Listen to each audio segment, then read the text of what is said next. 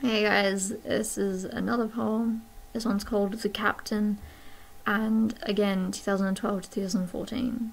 I'm beginning to wonder why I bother telling you the time period. I should just wait until it changes and then tell you. But, oh well. My soul is a sinking ship. I'm falling beneath the waves. My mind acts as an anchor, sinking deeper every day. My heart is like a tidal wave, smothering me alive. It's harder breathing every day. It's getting harder to try.